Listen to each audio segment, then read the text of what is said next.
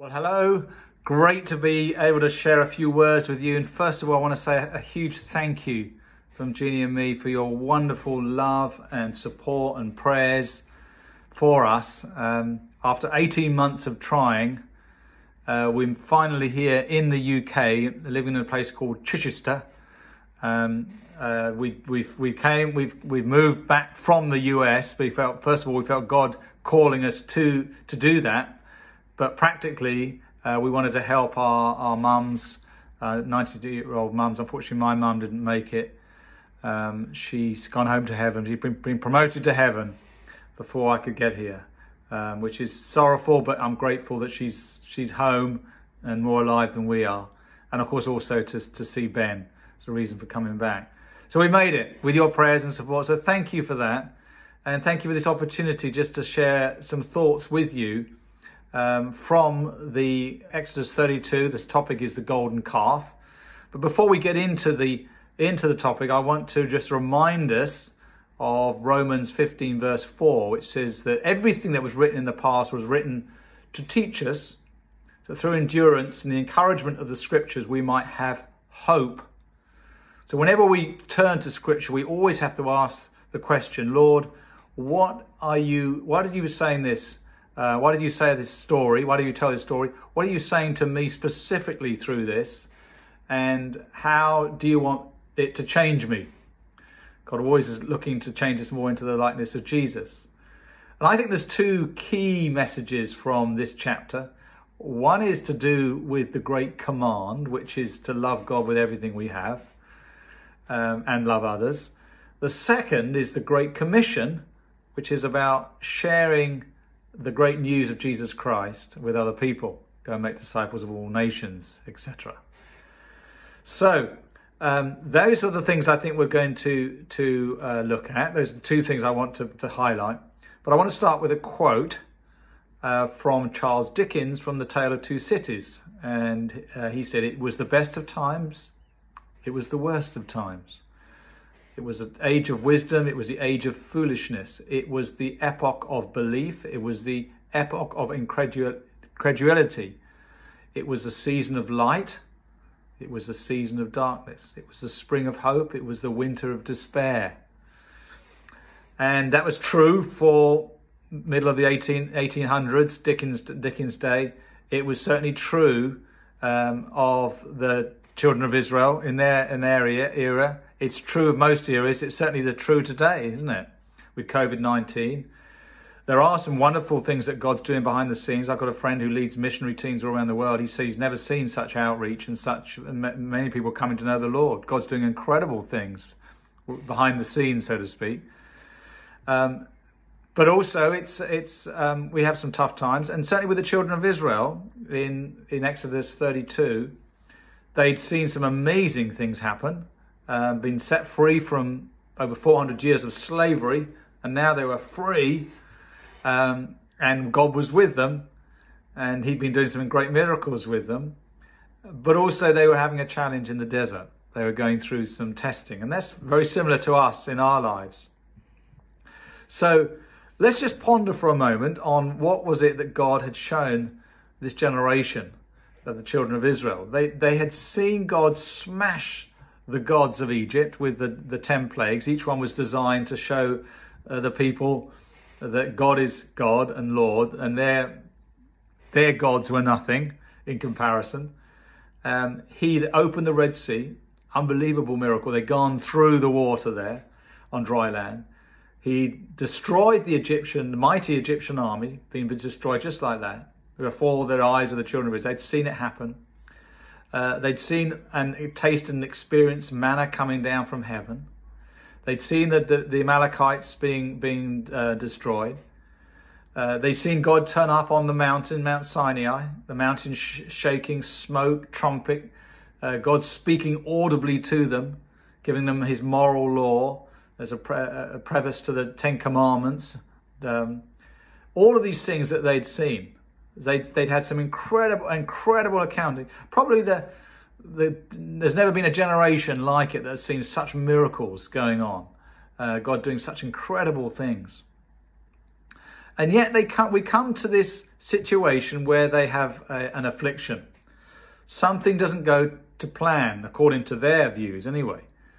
Because Moses had gone up the mountain, uh, we're told, in Exodus 32. He'd gone up, and uh, Exodus 19, uh, sorry, Exodus uh, 31, he'd gone up the mountain.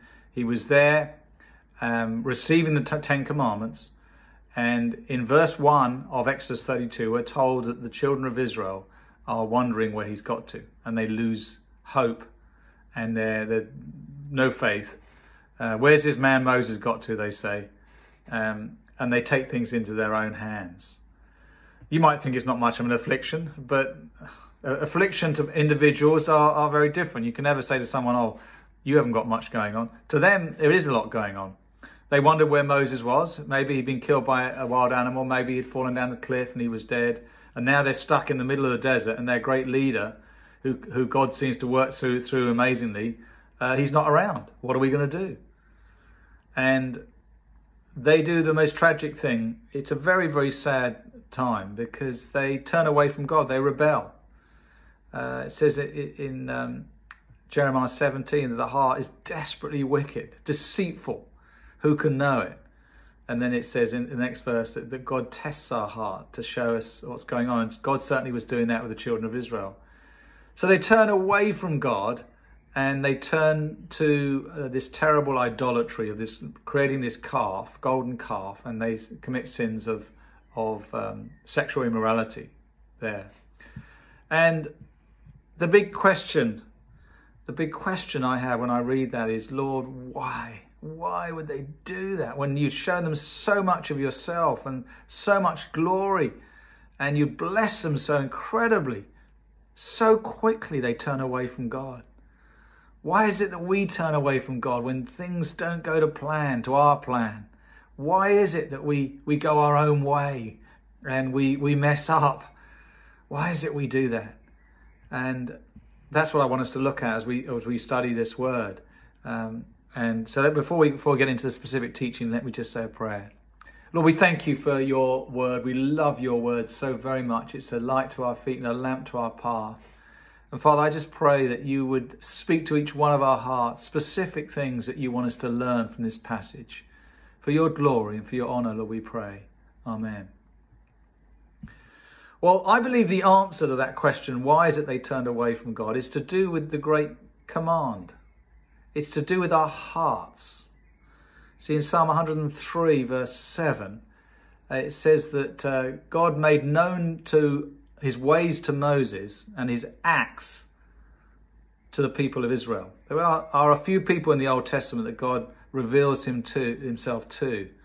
Um, David will be another one, uh, Abraham, where he, he, he specifically shows himself to them. He, he stirs their heart he shows them his great love. He shows them his character. He shows them his ways. He shows them his purposes. And they, they love him. Tremendously, they love him. We today, in the, in the new covenant, have that great privilege where God has poured out his Holy Spirit into us and given us a new heart so that we can all know him, know his ways, know his love, and be in love with him and follow him from our hearts. Tragically, in the Old Testament, um, they had a dead heart. It needed to be revived. The whole of the Old Testament points, it's a signpost pointing to the need for a Savior. God gave them the way to go and they could never keep it because their, their heart, their fallen heart was sinful and was always going, rebelling against God, going their own ways. Today, um, we have to keep that heart, and we'll come on to that later on. But so Moses knew God, knew God, God's heart. The, the people of Israel knew God's acts. They didn't know him and his heart. And it comes down to the love that's in our heart that leads us um, to do the right things. You see, spiritual warfare takes place in the mind, but it's decided in the heart. You get all these thoughts that come in, temptations and all everything else. The, the ability to make the right choice, to say no, it's God's grace in our hearts. We say no to sin. We say no to going the wrong way, temptations that flows from our hearts. Um, when we're in love with Jesus, with everything we got, we only want to do the things that please Him. Well, the children of Israel, so when it came to their affliction, they knew God from their head, uh, not from their hearts, and they took made the wrong choice. I have to say, in my own life, uh, my first 17 years as a Christian, I went the same way as the children of Israel did here. I received Jesus as my saviour. Did that when I was quite a young young lad. Went to church and went all through the Bible studies and all of those good things. Um, but he wasn't my Lord. He was my saviour. He wasn't my Lord. Uh, it was the analogy would be that I I invited Jesus into my house, which is my life. He'd come into the front door. He was in the hallway. But the rooms of my house, I wanted to be Lord still. Uh, the rooms for my ambition. Um, I got into running. Be, that became the golden calf for me. It was an idol for me. It came before God. An idol is anything that comes before God in our lives. I ate it, slept it, drank it. My whole life revolved around my running and getting to the top, getting to the Olympics and all of this. Uh, a room for business. I started a business at university and making money um, uh, all of those things. Pleasure, yes, I wanted to indulge the sinful nature. Um, those were all that I, were idols in my life. There were rooms where, yeah, I, all right, Jesus on Sunday and going to Bible study. Um, but the other parts of my life, no, I, I, I said, I'm going to be in control there. We can do that today as followers of Jesus. Even though he's, he's stirred our hearts, we can we can separate areas of our lives. Could be our career. Lord, I'll follow you, but not my career. I, that's for me. I don't trust you in that area. It could be for, for our future. I want to keep control of my future. It could be, yes, finances. I want to have control of my finances. I don't fully trust you in that. Could be our family. Sometimes our family is an idol. It comes before God in our lives. Yes, we need to love our family and take care of them. But God's always got to come number one and be first. And so I, I went away from God. Uh, I realized uh, in my mid teens I was become a, becoming a hypocrite. That's the last thing I want. And so I turned away from God, went my own way. Never, didn't ever not believe. I always believed, but I just didn't have the power to follow Him. It wasn't until 1980 when I had an encounter with God, 22 years old, and the Holy Spirit turned up, poured in God's love into my heart, and here's the difference I fell head over heels in love with Jesus Christ. From then on, all that I cared about was pleasing Him. That's what. That's when you're in love with someone. All you want to do is please that person. And it was God's love. It's all God. When you come down to it, it's all God. And I, I, I wanted. I said, Lord, whatever you want, I'll do whatever you want. I'll go wherever you want. I'll do the things whatever you want. Whatever happens to me. You see, that's the motivation that we need in our heart, not from the head, we need it in the heart. At the end of Romans 11, it says, From him and through him and to him are all things. To him be the glory forever and ever. And then it goes on in, in chapter 12. In view of God's therefore, dear brethren, in view of God's mercy, in view of all that God's done, in view of the Holy Spirit coming into our hearts and this love that we have, this power that we have, and we implore you, offer your bodies as living sacrifices holy and pleasing to God, which is your reasonable worship. Do not conform any longer to the pattern of this world. What is the pattern of this world? It's all about me. It's all about this rebellious heart. It's all about what I want. Don't conform any longer to the pattern of this world. Be transformed by the renewing of your mind. Then you can attest and approve God's will, the things He wants for you, and what things are happening in your life and why they're happening. Then you can attest and approve His will, His good, pleasing, and perfect will.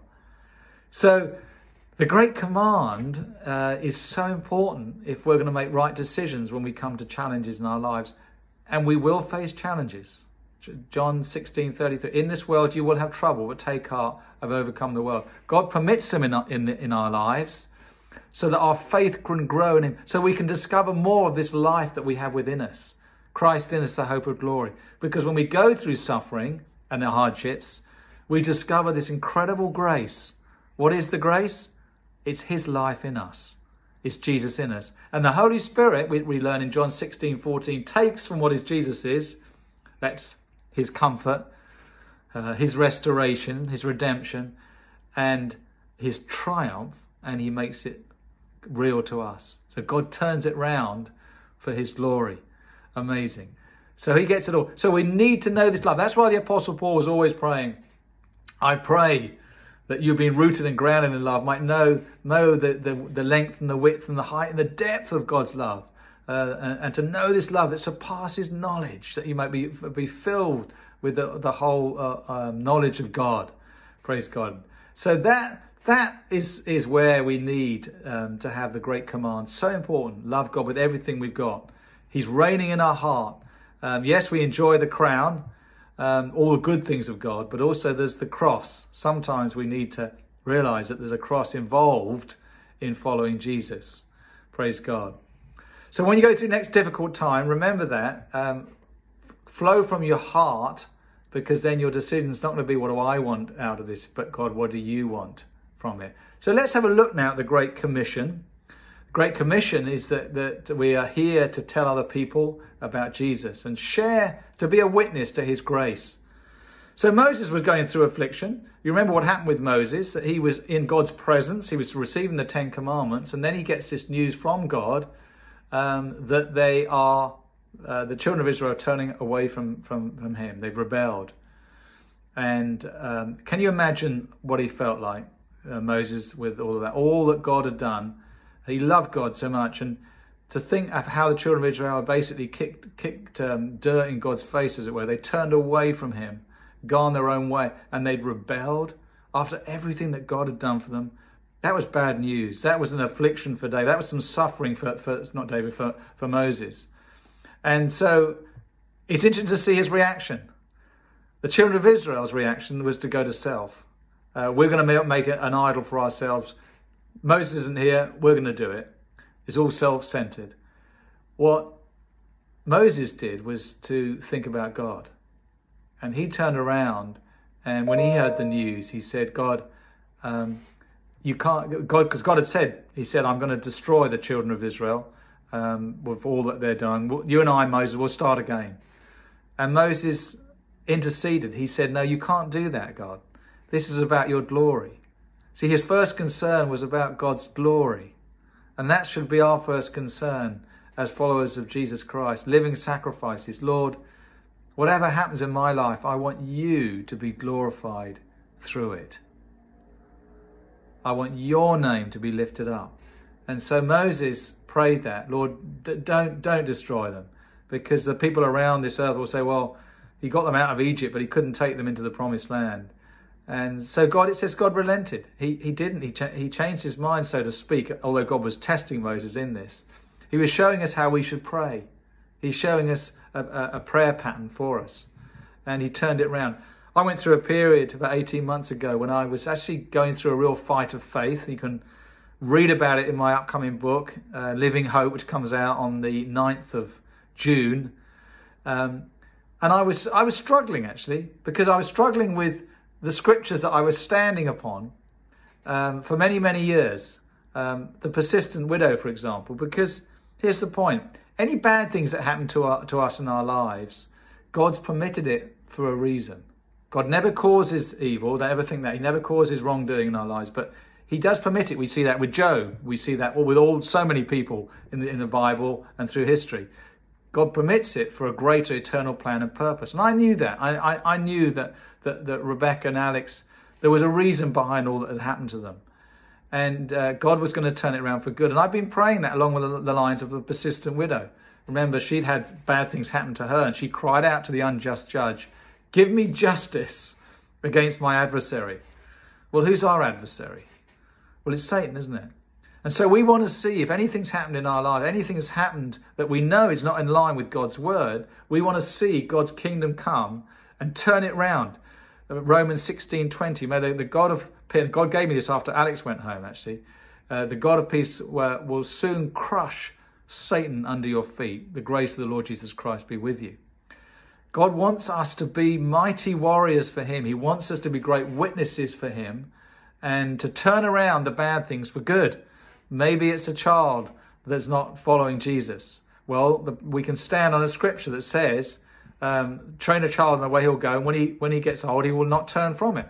So we can stand, Lord, you said this, I want to see your word fulfilled. That's what Moses was doing when he was interceding for the children of Israel. He was saying, God, you've said this. You can't, you can't turn away from this, God. This is your word. And we see it through scripture.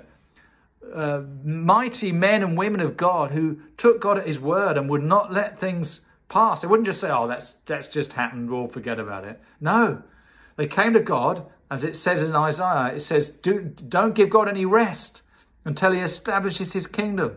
We're here to bring in God's kingdom. So Moses, in the next chapter, chapter 33, we, we, you'll read that he, God says, oh, I'm going to send my angel with you. And Moses said, no, that's not good enough. How are people going to know that you're with us unless you come? And he said, I want, no, you've got to come, God.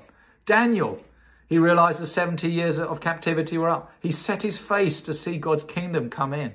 Nehemiah, for the wall, the same. David, when they were, when Goliath was mocking, mocking God and the children of Israel, that's not right. And uh, that's got to, that's got to change. Gideon would not accept what's happening, Lord. What's happened is not right. I want to see your, your, your, you turn up and your, your kingdom come. God's looking for us to be men and women of God who know Him. Daniel 11 32. Those who know their God will be strong and do exploits. Praise God. We know what His heart is. We know what His will is. We know what His kingdom is. Um, his word says, and we're going to pray until His kingdom comes. Well, I was praying for months. I'd get up in the middle of the night and pray for sometimes two hours, weeping sometimes, shouting out to God. And I was getting really burdened by it. Finally, thank God, Jesus turned up and he just said to me, I didn't see him audibly, but he just said to me, Gerard, trust me. I'm going to fulfill my word in my timing. And that's, a, we have to come back to trust as well. We have to come back to trust him. But don't just accept things in our lives. Turn it around with prayer. It's happened that you can be a mighty warrior to bring in God's kingdom. Pray. So, what have we learned? We've learned um, some things. I'm going to give you four points to end with. Four keys. What should we do to have the great command and the great commission alive in our lives and be faithful in God's calling on, our, on us? Number one, make sure that Jesus is our first desire. Make sure there's no idols. At the end of 1 John, it said, Do not have little children. Keep yourself from idols. Make sure there's nothing in our lives that comes before Him. He's got to come first. Uh, my favourite verse, uh, Proverbs 4.23, above everything else, my child, keep your heart. Out of it flows the wellspring of life. Don't let any Japanese knotweed, I've heard, I heard Nick sharing about that, great word. Don't let anything that's not of God settle in your heart. Bitterness, unforgiveness, anger, disappointment, discourage. They don't belong in the heart of a believer. Get rid of them. Number two, ask the Holy Spirit to fill you, regularly fill you with, the Holy, with His love. Romans 5 5. It's His love that keeps us making the right decisions and laying our lives down for Him. When it gets tough, we lay our lives down. We take up our cross and follow Him. We don't compromise on the Word of God. Number three, we, we, we realize that this, we're part of a much bigger story. Boy, are we part of a bigger story. this is just a vapor. Um, we have got a whole eternity ahead of us, and God's preparing us for a great work that we're going to do through eternity with Him. We're rewarded through eternity. It doesn't get us to heaven, but it, it's a reward for our faithfulness to His calling. And we're also his, um, we're, we're instructing the angelic realm in the wisdom of God. Uh, Ephesians 3, verse 10. Great calling on your life. You're very special. You've been called out. Never forget you're part of a bigger story. And it's all about Him and His will and His purposes. Number four, finally, uh, be patient. Be patient.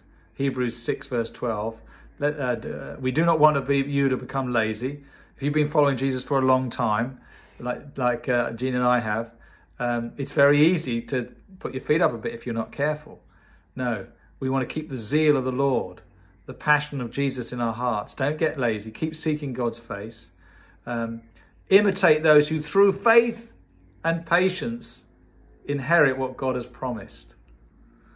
God's promised us great things in His Word to bring in His kingdom. We're here to do that. And when our work is over, we'll go home. But for now, we're all out for His glory and for His purposes. May we pray. Lord, we thank you for the, the great story of the children of Israel. Thank you that you've recorded it. And Lord, we, you've recorded it that we can learn. Lord, I pray, Lord, pour out your Holy Spirit once more into our hearts that we might be passionate for you, that your love would keep us uh, on fire for you. Your love would cause us to say no to anything that's ungodly and not of you, um, and keep on that path that you've laid out for us. Uh, Lord, help us to be great witnesses for you. Thank you that we're still on earth for that purpose, Lord, that we can represent you, be your hands and feet for your glory and for your honor. And Lord, I thank you that you called us to be patient uh, as, you're, as you're working out your plan and purpose. Lord, we love you and we bless you. And we pray these things in Jesus' name. Amen. Well, thank you so much. God bless.